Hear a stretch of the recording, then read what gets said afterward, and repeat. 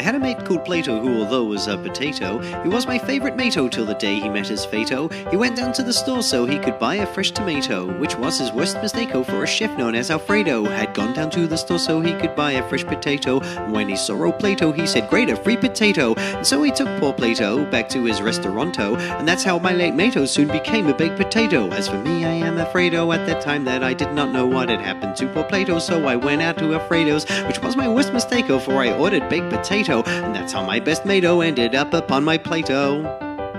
So if you're friends with a potato, don't make the same mistake, oh, for the thing about potatoes is when baked they taste so great.